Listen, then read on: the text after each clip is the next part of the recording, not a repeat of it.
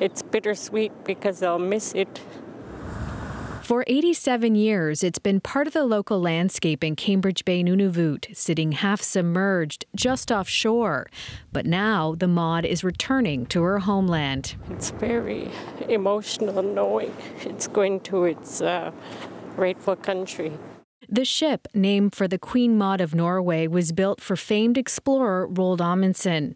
It left 100 years ago, designed to be a floating scientific research station locked into the ice at the North Pole.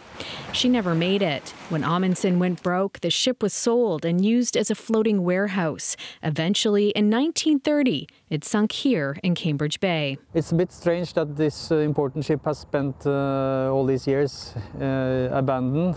Seven years ago, a group of Norwegians led by Jan Wanggaard pitched to bring the Maud back. They got the permits, community and government support, and then did the impossible, raising the preserved massive wooden hull from the salty waters. After the Norwegians explained why it had such a significant part of their lives, that the people said, okay, she belongs to the Norwegians, she should go home to Norway. I'm very overwhelmed by all the practicalities. Of course, it's a mi uh, milestone for the whole project, so we're very happy.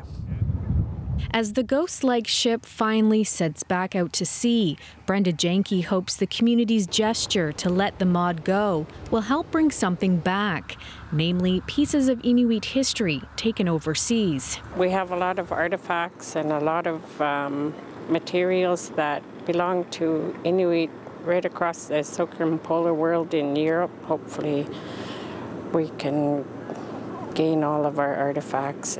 The barge and the Maud will spend this winter in Greenland before making the final leg of the trip to Vala, Norway. A cairn is all that is left in her wake, the Maud's final resting place, a future museum in Norway. Kate Kyle, CBC News, Cambridge Bay, Nunavut.